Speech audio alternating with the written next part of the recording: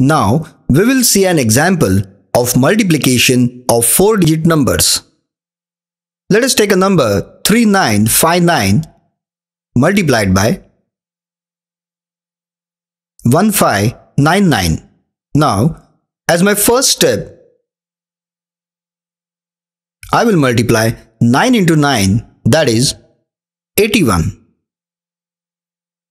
I will write 81 as 8 carryover and 1. As a second step, 9 into 5 plus 9 into 9. So here I get 126. The 12 will be carryover and 6 I will write in the first row. As a third step, 9 into 9 plus 9 into 5 plus middle column that is 5 into 9.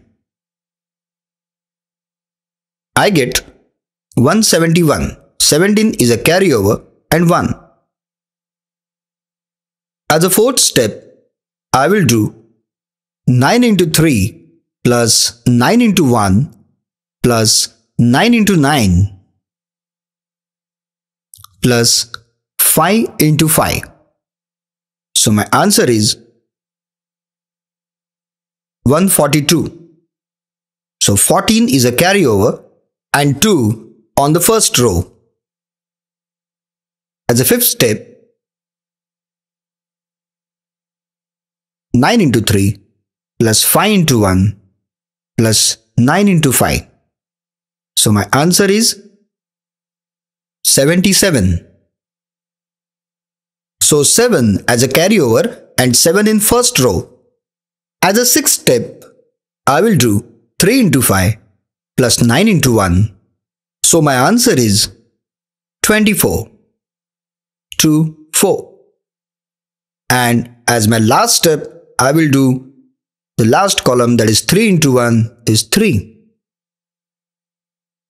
Now I have to add traditionally 1, 14, I got 14 again. Here I get 20,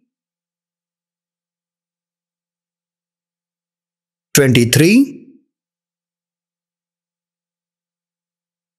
then 13. At last, I get 6. So, my final answer is 6330441.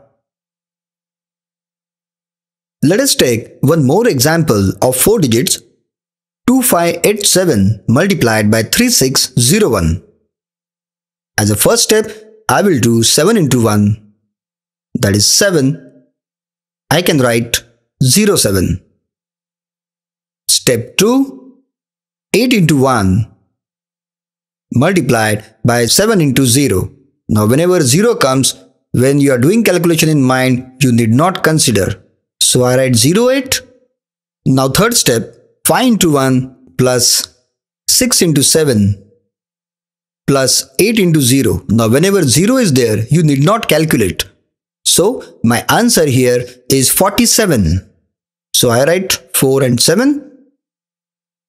As a fourth step, I will do 1 into 2 plus 3 into 7 plus 5 into 0 plus 6 into 8.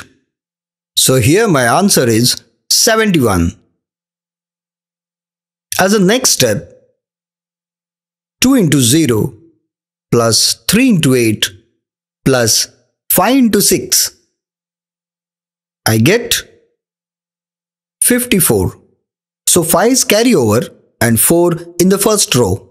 As a next step, I will do 2 into 6 plus 3 into 5 here, my answer is 27. 2 is carryover here. Now the last step, that is last column, 2 into 3, I get 6. Let us write 6 here. Let us add them up. So I get 7, 8, 7, 5, 11, 13 and last is 9. So my final answer is in just two steps because all this calculation what you see on the right hand side are to be done in mind and not on the paper. So, my final answer is 9315787.